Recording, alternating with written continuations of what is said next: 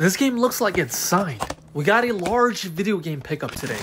11 consoles in total and a bunch of games. 2 GameCubes, 3 PS2s, 2 PS3s, two Xbox consoles, a Super Nintendo, and a regular Nintendo system. A large amount of games. We got some GameCube, Xbox One, PS2. We got Simpsons Hit and Run. One of my favorite games for the GameCube. In great condition, complete in box. We got Pac-Man, Looney Tunes, Lord of the Rings, Super Monkey Ball, Crash, Avatar. We also got in a 2DS XL handheld with a ton of games downloaded on it. It doesn't really add much value because I'm gonna have to reset it anyways.